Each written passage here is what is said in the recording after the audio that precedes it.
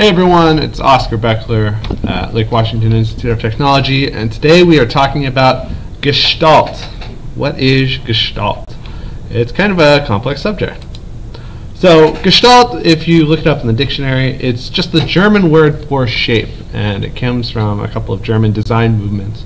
And a shape in this case is understood as the sum of its form juxtaposed against the background, the figure-ground relationship. We see this in lots and lots of ways. This might be described as black and white, foreground versus background, front versus back silhouette, subject versus uh, you know environment, positive, negative, all sorts of things like that. the other German word is Formen. Uh, Formen is another German word for shape. Hence, shapes for men. So what is uh, Gestalt? Uh, it's kind of hard to explain, but once you start seeing it, you see it everywhere. And uh, it's an abstract concept. It can be kind of frustrating because it doesn't necessarily um, pack impact when you see it reduced to its most primitive components. But if you stick with it, you can start to understand how it can just make for a more appealing font or a more appealing design or just uh, design that communicates better and that's always the goal of design is just uh, solid communication. So it's kind of like jazz. It's the notes that you don't play, and sometimes it's hard to see, but sometimes it gets a little easier to see. So let's play a game. What do you see here? This is just an abstract sort of blob. it might be like a skull, where this was the teeth over here. Maybe it's a dinosaur head. Maybe this is South America or Africa. Maybe it's just an abstract shape. I think a good way to test this stuff, put googly eyes on it. So if this has googly eyes, now you can sort of see this as like a llama, and it makes a little more sense. Maybe it's a weird ghost. What about this? What is it? It could be a tree branch. It could be somebody going like, like this in a weird way. If we put googly eyes on it, suddenly it's a very upset duck or chicken. Ah! What about this one? This one's kind of hard for the googly eyes. I saw this maybe as like a like a pipe coming down, but I don't know, coming way forward in perspective. And it's just an abstract blob, and this is just a thought exercise to make you start thinking about how our mind constructs form out of everything. When we see a black and white shape, we try to reduce it and process that information as quickly as possible. What about this one? This is kind of a little bird. Here's its little beak. Here's maybe its feet. And when you put googly eyes on it, it makes sense. This one is just another shape. But maybe this is like a joystick. Maybe it's the Tin Man. And maybe he's sitting in a boat. If you rotate your head a little bit, maybe it's different. So now I can see that, uh, that sort of dunce cap a little better. Or maybe simplify it even more into separate shapes. This one, uh, I don't know, maybe it's like a hand shape. High five. Or if you put googly eyes on it, maybe now this is like a dude with one of those like weird Muppet noses. But if we break it down into two shapes, now it's just a very simple idea of a triangle and this. Now we'll get to why this matters later on. Uh, this one maybe is like a giant poop or a centipede. If you put googly eyes on it, suddenly this is a happy face. And this one when you put, uh, this is actually the same shape, just reduced even more. And now it starts to have an easier to see shape. I always take my glasses off when I'm trying to study this stuff, and suddenly all that detail gets lost. And you can break this down into just four or five lines, points, and planes. But now it's sort of an anteater or pangolin. What about this one? This is maybe like a vampire count. This one's maybe another weird boat or a joystick, or maybe a road going off into the distance here. So all these things are examples of Gestalt and how our mind sees them. There's a couple of core ideas of Gestalt, and they've been codified in a couple of terms. The first is simplicity. Simplicity is the idea that we're able to find the simplest form out of shapes. A lot of times this is based on tangents that lead to each other. So when we look at these two shapes, we don't necessarily see shape 1, shape 2, and shape 3. Shape 1, shape 2, and shape T. We, we see two rounded squares layered on top of each other. Even at this point, when we change the background, we still see two rounded squares. So our mind simplifies this tangent and we understand those shapes.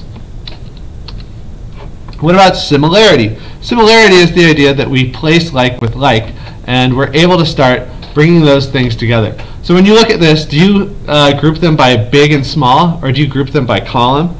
No, the thing that you're going to group them by is most likely going to be these horizontal lines uh, where they seem to be in a row together. Proximity is another one. We have squares and circles here. We have big shapes and little shapes. But we don't really care about that. We care about how close together they are. Somehow we group these all together, including this webcam picture. And this one over here is like with like. So although squares are a common denominator between these two groups, we don't see the squares, we don't see the circles. We see proximity. And closure is another one, where somehow our eyes will fill in the gaps between these things. Somehow we see this as a circle. We could have seen this as a light bulb, where this is the stem of the light bulb, but we don't. We see this as a full circle. We don't necessarily see it as a C. So our mind fills in that gap for us. And then continuity. Continuity is one where uh, we're able to draw conclusions based on this. Is this interlocking teeth going together? I don't think it is. I think what we see is this continuing squiggle that goes like this. And your mind is going to find these things. You have to be aware of this when you make designs because a lot of times people will accidentally include tangents and then suddenly don't realize that they're leading their audience to view something that wasn't actually there. And the last one is symmetry. We are symmetrical creatures. We have what's known as bilateral symmetry, in which our faces and our human bodies on everything except for like flatfish tends to be the same on the left and the right. And we look for this similarity to um, you know, organize our environment and navigate our environment. So whenever you see symmetry, it oftentimes just clicks in your mind as something that's appealing. so who cares? Uh, I personally struggle with this stuff all the time. When I see this stuff reduced to its most essential components, I feel like tearing my hair out. Because I feel like I was doing this stuff in grade school, and to some extent you were doing this in grade school. You were learning your basic shapes. You were learning your trapezoids and your squares and your stars and your dodecahedrons and your icosahedrons and your irregular Newtonian solids. And this was a dream I drew when I first started teaching this, sort of explaining my anxiety about uh, trying to teach this to adults when I felt like it was beneath them. In this dream, my neighbor was having some sort of upsetness and he was wandering back and forth across the street on the sidewalk. I went over and talked to him, and it, he explained that his mother was ill, and to save her, he needed everyone to start making Gestalt compositions. And so I made this Gestalt composition, which, as you can see, is just a bunch of circles and squares and Tetris pieces. And I walked around town holding this sign up, trying to help. I hated that dream. And to some extent, when were simplifying it down to this stuff, it, uh, it can feel like, you know, what's the point? But there is a point, and we can find this all over the place. So we're going to look at a couple of industries where you can see this Gestalt idea in action. The first one is in industrial design, where uh, cars, for instance, have a face. When you see something like an Apple product or a car, they're always thinking about how does this read in its most simplistic form. Most recently, uh, this has been used for uh, evasive marketing by Apple, where they've tried to stage their iPhones with the black background again or with the black rim around against the black background so that the notch wouldn't be visible uh, because it gets lost in the overall blackness. When you look at cars, they oftentimes have a face, and that's our first experience when we look at a car. Uh, before we drive it, before we smell it, before we get angry at them cutting up us off on the road, we sort of get a visual impact of it. And a lot of times, this is where cars sink or swim. A lot of ugly, ugly cars have been lost to history because they just failed at basic design ideas. On the other hand, other ugly cars have launched themselves into stardom because they stood out in a crowded market space of generic looking cars by being the, the ugly duckling. And suddenly, uh, Geek Squad is putting their logo on Volkswagen Beetles, or what's that other one? All the ugly cars, you know, the, the cube ones. In animation, we use this principle all the time for silhouettes. This is actually one of the Disney 12 principles of animation called staging. Uh, and it's the idea that your characters should read in silhouette. If you black them out, can you still understand what you're looking at? All of these are classic cartoon characters that you can figure out who they are, and it's because their design was strong. When you see Bugs Bunny eating a carrot, he doesn't have his ears drooped down to his side with his carrot right here. What you see is Bugs Bunny with his carrot out to the side and his bunny ears very clearly visible and his bunny tail and a stance that gives his attitude. This is Gestalt in action and it makes sure that the design reads automatically rather than just being a basic post of a character. In fashion, this is absolutely essential. The first impression we have of a dress or something that becomes iconic is how it reads as a simple silhouette. This can be seen everywhere. Uh, you can find this in like exercise clothes, where on male clothes they'll like cut out the sides so that it looks like you don't have love handles just through the power of design. Uh, same thing on like yoga pants, where a lot of times the lines of the clothing will be designed around following the musculature of the human body, therefore making you look more muscular than you are. All over the place, this sort of uh, design sensibility can be seen in fashion.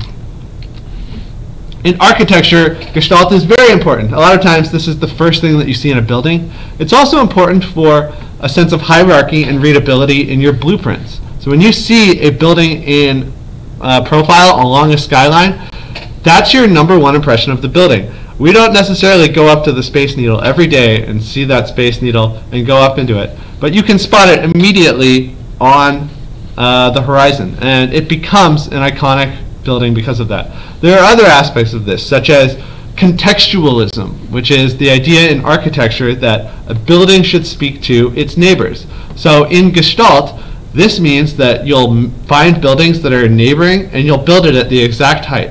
Why? Because suddenly it looks like their lines were attached and following that idea of simplicity, we fill in the gaps and we feel good when we see that, that it's not just like a little bit notch above. And in illustration, this is absolutely key. I think the American illustration golden age was one of the best times to find this because you had a lot of artists who had this sort of uh, a style that had a certain brutality to it or aggression to the brushstrokes.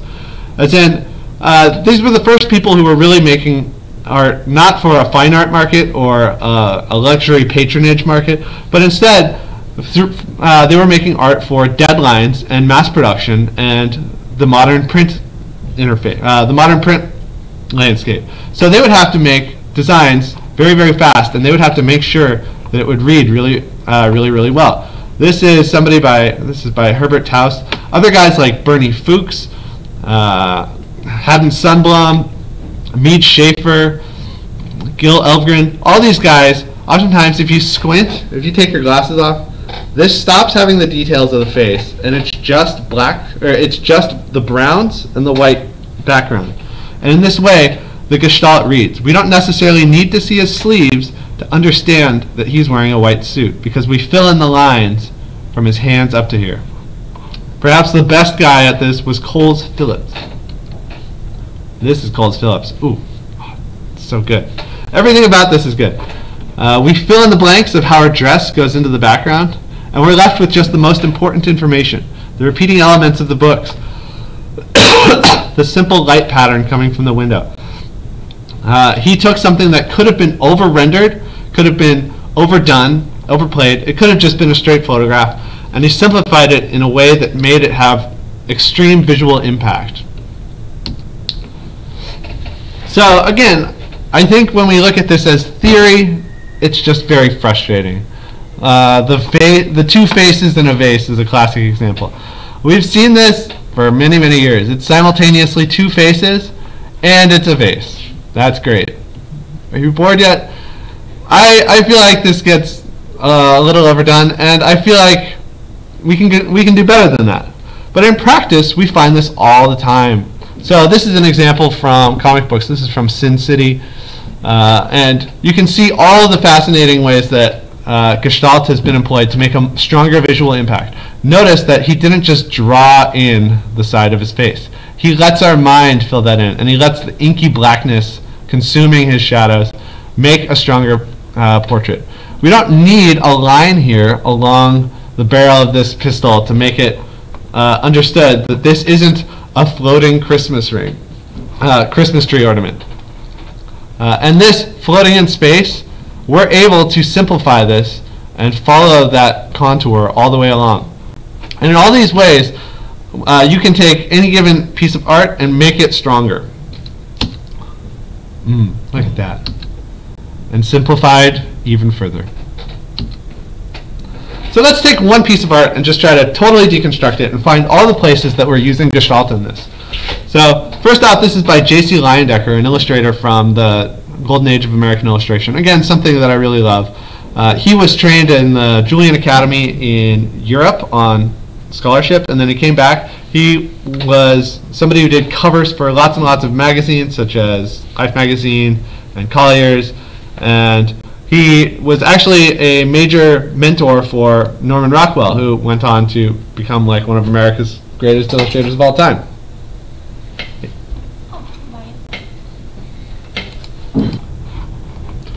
Anyways, I think uh, J.C. Leyendecker is a definitive example of the American golden age of illustration in that he was able to simplify things to its essence, but still was able to portray a really well-rendered, realistic depiction of what he was going for. So first off, let's look at simplicity. We break this down from two people, and if you squint, all these uh, shapes massed together, and this idea of massing shapes is very key to painting. Uh, although these, if you squint, this is the shape you would see, we're able to understand that it's two interlocking forms. And to some extent, letting that happen, rather than forcing a black line here, or over rendering it, uh, it makes it a more visually impactful image. Also similarity.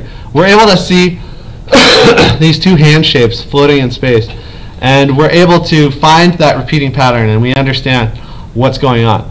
We don't imagine that this is a lady holding a severed hand off in space. We're able to understand how these are connected, uh, even though he doesn't draw physical lines all along here. We're also able to see proximity. This isn't a flower floating in space. We're able to understand based on proximity that it's part of this guy's outfit. We also see closure. Even though her arm intersects, we're able to follow that line down. And that's something that a lot of times, if you're doing a flat transfer, you can miss that sort of thing and suddenly you go back and realize you should have, uh, you should have fixed it. And then continuity. We're able to find in our mind's eye how these two things uh, would connect. We're able to find the silhouette of his tuxedo. And that on that point, I think the time and place that J.C. Leyendecker was operating was very tuxedo heavy and very, you know, beautiful formal black and white dresses. It's been said that uh, people drank and smoked all the time on old black and white movies because it looked great on black and white film, where they were trying to make sure that it read as a high contrast image. And I think to this day, a lot of film could be improved if they just ran it through black and white, figured out how it's not reading as a value statement, and then adjusted based on that gestalt feedback. And lastly, I don't know if it's lastly, but symmetry. All sorts of places you can put symmetrical formal design, whether this is on your business card, on letterhead, there's something just that's appealing about symmetry that we like. We feel it in our bones because again, we look at lions, at our kitty cats, at dogs, at fish, at our friends, at our babies, and we see that uh, symmetry. In fact, if people have like an injury or a stroke or are just uh, snarling, a lot of times uh, that unsettles us because we understand that somehow their natural symmetry has been disrupted. You can see this in film too. This is a shot from The Third Man, which is a film by Carol Reed and one of the greatest movies of all time. And all through the film, there's this idea of just beautiful black and white statements. Again, like it was the era of black and white films. And you can see how they designed to that medium. And it made for a very strong thing. There's something known as mise-en-scène, which is in film the idea that everything that composes the image is important. So in this shot, we have actors who have to be in the right place. We have to have the lighting designed so that it shines through the door in the right way. We have to make sure that the camera angle lines up. We have to make sure the costume sells the person. Uh, the makeup, uh, the props, everyone is involved to make sure that this scene works. And somehow this is a very graphic statement. Look at all the ways that this could have been wrong. So if this actor had been slightly to the left or slightly to the right, this shadow wouldn't be outlined in pure white. It would be masked in with the black of the background. What if he had come forward a little more or a little back? The shot suddenly wouldn't read. You should be able to pause a film and read it just like a picture or a painting. I think uh, in film you can also see this. This is from The Shape of Water, which had a, a an homage scene to black and white sort of old school, uh, you know, song and dance films. And all over the place, the black and white totally reads. The pattern of lights on this stage turns into a texture because we see the repeating elements and it forms together. We see this guy's silhouette and we understand that he's in the foreground. Same thing as her. Notice that he is a black silhouette and he's staged against white elements so that he reads as a shape. She's in a white dress and she's lit so that she's uh, the lightest element, and they stage her against stuff so that she'll pop out. We also are able to simplify. As these people walk through, we have these strongly placed lines that are able to make sure that we can read how the background interacts with them. Again, similarity, these dots are merged into a texture and then become this planar element. We're able to take that image and separate it out. I would say the same probably goes for these raking shadows in the orchestra in the background. And proximity. All these orchestra characters are together, and we're able to see that as one element. If we had one guy over here, it would be a, little less um, clean. If we had something that was like peeking out and touching his hand, suddenly that would be less clean. A lot of times, directors are making actors just lift their hand up or down just to make sure that it reads and shot. There's a shot in Jurassic Park that I love where the actor is walking through the crowd scene uh, to deliver the canister to steal the dinosaur DNA, and he walks around with his hand up like this, and you're like, why would he do that? If you've seen this movie ten times, suddenly you notice it, and it's just to make sure that it's that the briefcase stays in the shot so that you know what em- element is important. And then closure. Somehow we're able to draw lines from their eyes, from their hands, and we understand that they're pulling away or going towards each other to embrace. In logos, you see gestalt elements all the time. Uh, oftentimes it's about breaking these rules. Oftentimes it's about a sense of playfulness and trying to trick the mind. And oftentimes trying to make two forms visible at once. So this is the WSU logo. And I remember I was like 17 when somebody finally pointed out that there is a secret kitty cat that's spelling WSU here. I had never seen that before. Uh, this idea of two things at the same time is called multi-stability. And you see it all over the place. I think the FedEx logo is another one. It's simultaneously the letters and it's the arrow that's embedded inside of the logo. It's just like the classic textbook example. What about in video games? We have this speaker ground relationship in Gestalt, and we constantly organize our information in, an, in a UI that's very like little dots and numbers heavy, and somehow we're able to make sense of it. So in a video game, we break UI oftentimes down into a singular area so that we don't have to worry about any numbers floating here. A lot of times they'll have UI elements where uh, everything that is made for the video game is kept in a non-glowing state unless it's something the player interacts with. And suddenly it has just a little bit of extra sheen so that you know that you're supposed to go and grab that. In modern video games, we're increasingly trying to break the gestalt down into less information. Or uh, how can we use gestalt to trick you into getting the information with less formal design basics? So this is a shot from, I think, Halo, and you can see how they've taken the gun and embedded the user interface inside of it. There's all sorts of places where they do this, where if you get injured, the blood splatter ends up being the gestalt statement rather than a health bar forcing you to acknowledge, I have 10 points left. And lastly, iconography is very important in video games everywhere. all over the place you're going to see all these little icons. Take your glasses off if you have them and squint at these and see how many of them you can identify from far away. We have to sometimes see these on a tiny little phone screen and understand which magic spell we're clicking on. So it has to read as a bat, and it has to read as the strongest bat or the weakest bat. All of these are simple black and white statements. How did they make it so that the hand, uh, you can just pick out, like some of them, the, the foreground is light and the background is dark. Other times it's reversed. So here the hand is dark and the background is light. On this one, the skull is light and the background is dark. On this one, the eyes are the figure on the ground of the head. And then the ground of the head is, or the figure of the head is on the ground of the glowing background. These making sure that there's this separation. In animation, this is something that they used all the time because they didn't have a budget to make everything high, uh, high def back in the day. And in comics, they did it too. So you had to make sure that in one glance, a person could figure out all the things going on. So notice that we have this overall frame, but we have this idea of the sky versus the background, which is probably the tree and this grass, versus the foreground, which is this and this and the horse and the character. And then inside of that, the character is one shape, and his eyes are on are the figure on the ground of his head. Just constantly elements within elements within elements. And in painting, you see this all the time. A savvy painter is constantly looking for ways to just use light on dark or dark on light to find this separation. And oftentimes, this is the artistic choice that se separates the best painters in the world from the, you know, the just so-so ones.